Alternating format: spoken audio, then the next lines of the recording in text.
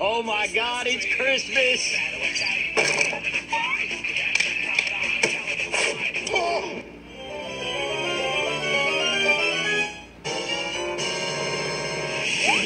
I got this for you. Kiss me.